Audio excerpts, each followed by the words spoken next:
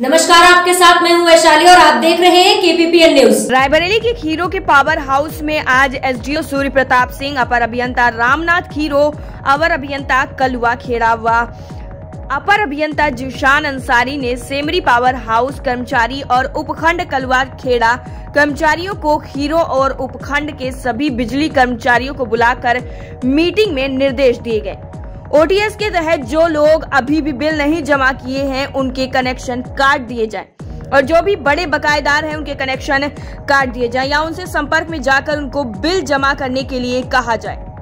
और साथ ही खीरो उपखंड के अंडर आने वाले उपखंड सेमरी कलुआखेड़ा के सभी कर्मचारियों को कड़े निर्देश दिए गए।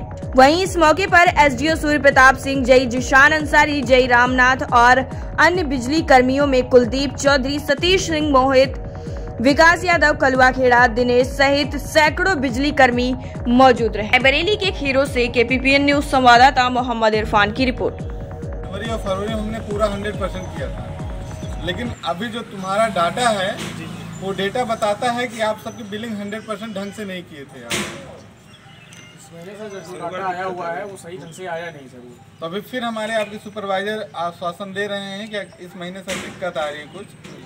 और नेक्स्ट मंथ फरवरी में फिर बिलिंग ठीक होगी। सबसे ज़्यादा मेजर रोल जो होता है बिलिंग का ही होता है हमारे विभाग